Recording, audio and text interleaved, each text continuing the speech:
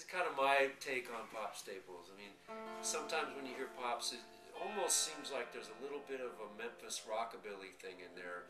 I think it's probably more just a blues thing that's it's been countrified a little bit, but it's not that far off from somebody like Scotty Moore in, in some ways.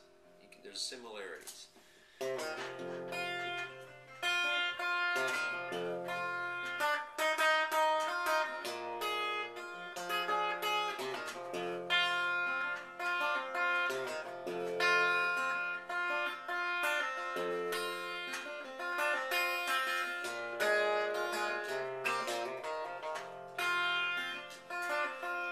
Circle be unbroken?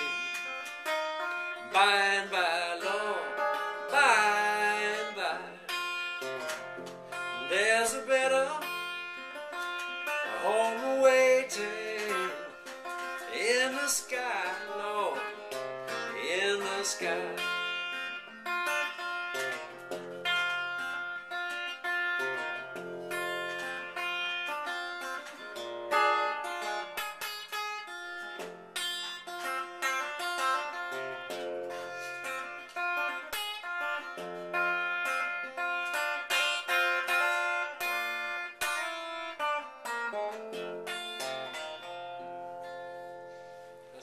Taste of sort of the little hybrid thing that he might do.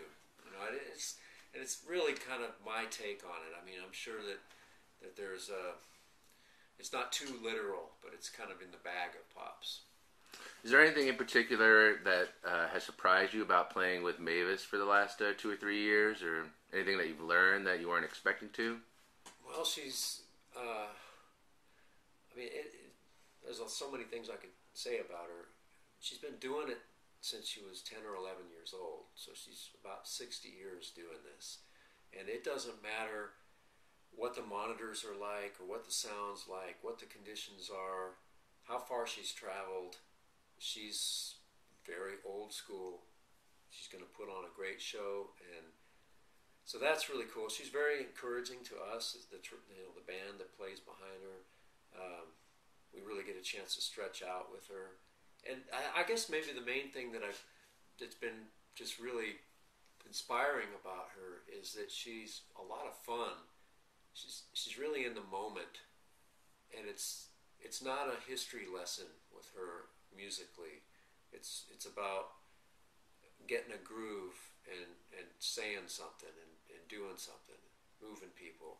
So um, it's not like you got to go and you oh no that's not exactly. I mean we we care about her a lot and her music and so we want to get it right.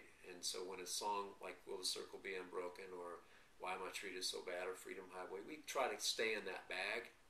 But she's she's wanting us to rock out. She's wanting us to, to lay it all out. She loves Jimi Hendrix. She she loves all kinds of music that might surprise people. You know that she doesn't sound anything like, but she's not in a little bag. You know she likes all kinds of stuff.